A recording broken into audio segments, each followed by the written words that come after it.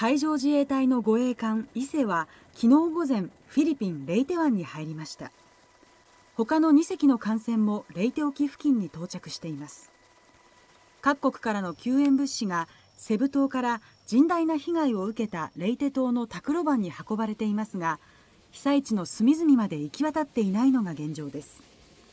そのため早ければ週明けにもタクロ湾に上陸しヘリコプターによる救援物資の運搬作業などを行う方針です。